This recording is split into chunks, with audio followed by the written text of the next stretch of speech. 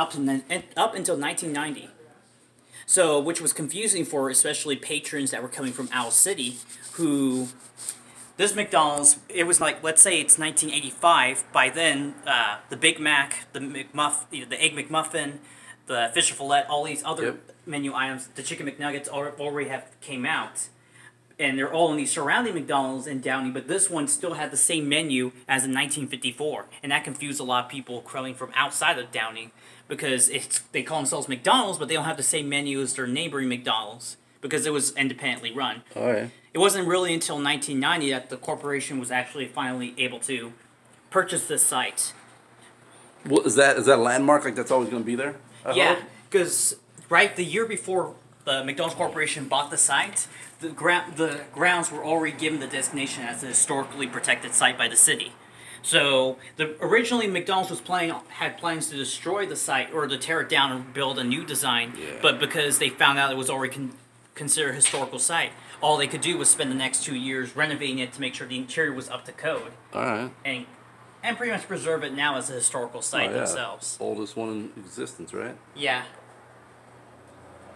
Now there's now there is a few McDonald's that are in that style, but those were mostly built during the '60s during Ray Kroc's, uh, during the year of transition between the brothers and Ray Kroc, '61 to '67. Are they here in California? They're more. I find that most of them tend to be in the north, northwest, northeast, kind of like the Midwest country. But from what I've heard, some of them are slowly starting to be replaced or even abandoned sometimes. Yeah, it sucks. I hope if, is- if it gets knocked down, I hope they take bits and pieces and chunks out of it, Yeah. like down here in the case. Though there has been recent moves by the company to reintroduce what they call retro style McDonald's, which seem to be more popular overseas, and they're trying to, from what I've heard talks of, But do they do they look like that, like right up here? yeah, the the plan of retro like? McDonald's was to build them in a similar style like this, but sometimes they. Sometimes some of the retro versions tend to be a little bit oversized versions. yeah, that way, yeah. it's still the interior inside is but for modern. but it's supposed to have the exterior design of the Yeah. of the original McDonald buildings that Ray Kroc and the bro- well, mostly the brothers started with in 1952. Because originally the famous side arch buildings came into existence during the brothers' years before Ray Kroc came in, but their second restaurant was the first to feature the design. And funny story about the second restaurant was that the brothers only sold the rights to his name was Neil Fox, a former gas station owner. They sold him the rights to the speedy to the speedy service idea. They weren't they were thinking he was going to call the restaurant something else, not McDonald's. But he ended up calling it McDonald's, much to the confusion of the brothers, because they told him McDonald's means nothing in Phoenix, Arizona. Because remember, this was before they before the name was even a common household name. Yeah. But Neil Fox said he liked the name of McDonald's, or he said it had a nice ring to it, so he decided to keep it when he opened his first his own over in Phoenix, Arizona. And after the brothers saw what the new structure looked like, because they already had the design, but they never actually had their first one in the structure until that one. So after they liked the design, they decided to tear down tear down their old hexagon building and build practically their version of this one, which stood by the time Ray Kroc came in. So that's one of the few errors in the movie that founder they got wrong was that in 1954 the Octagonal building was already replaced by the Sorry Arch building, by the Arch buildings. So that's the type of structure that Ray Kroc should have seen when he drove up in 1954. I guess I gotta actually haven't actually seen them, this movie right here yet. Yeah, it's a really well done film. Yeah, these are all props from the movie given to us because we helped with the early research of the film even before they even announced the making of this film. Do you know where the set was for all this type of stuff? Actually, yeah, we have well for two sites. Oh, Oh. smudge and they clean it. Yeah, so for the reproduction of this site, they did in a church parking parking lot in in Newnan, Georgia.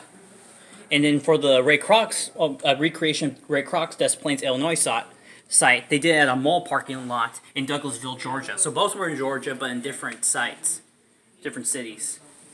They came, did they contact you guys for all the research? Practically, or they came. They even personally came here too. All right on. Unfortunately, from what I've heard, the reproduction Speedy uh, Octagon building was originally going to be meant to be given to us after they were done with the filming, but due to legal reasons, mostly some, we believe with the corporation, they were ordered to destroy the building, and thus we were never able to get our hands on it. That sucks. The I mean, if Des Plaines, Illinois reproduction, however, was is now sitting some warehouse in as Lego pieces, you could say, in a warehouse somewhere in Los Angeles today. Are these placemats from all over the world, or Yeah, from China, Ireland, Ireland, Morocco, Jordan, Italy, Poland, Israel, and these are just some of the some of the many that we have in this on display. I mean, we have plenty more. We just don't have the space for them. is everything pretty much donated, or do you guys buy?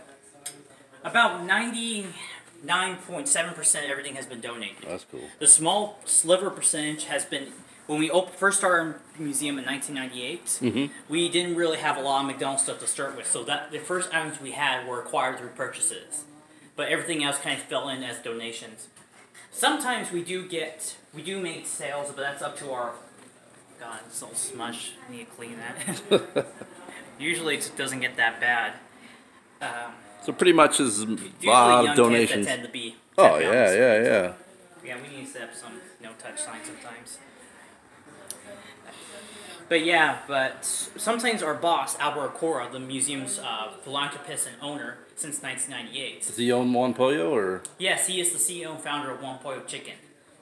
That's his office around the corner? Or? And yeah, behind these cases is the company headquarters. But that, Oh, but okay. currently it's going to be moved to a new location. So whatever makes up the office now will be further expansive space for us to include new displays. And I see an Amboy truck outside. Does, he own the little town of Amboy, or does he own Roy's, or Yeah, he owns both. He brought he purchased the town of Amboy back, I believe, in 2007.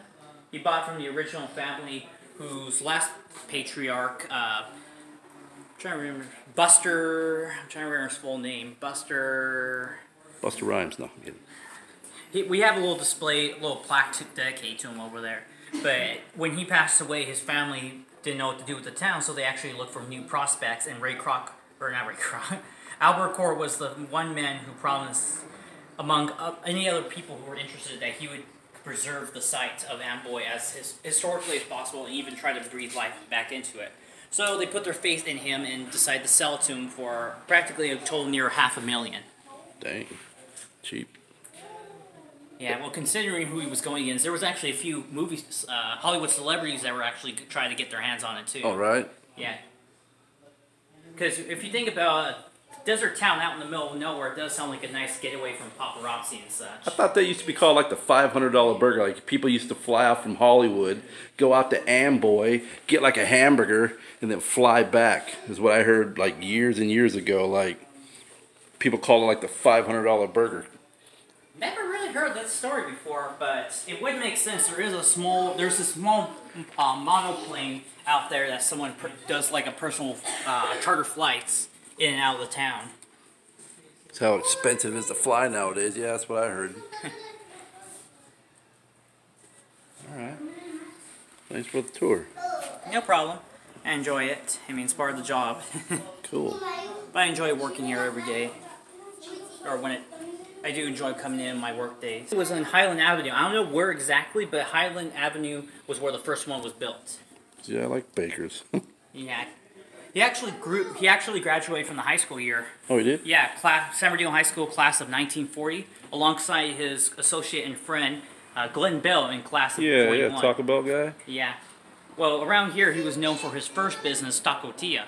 Oh yeah, yeah. Is it, where's that at? Is that out here somewhere? Or? They're a dying breed right now. There's only a handful scattered throughout like Southern California now. They used to be common back in the '60s, but after Glen Bell left because he wanted to start what was that what would become Taco Bell, Yeah. that's pretty much what led start laying to the decline.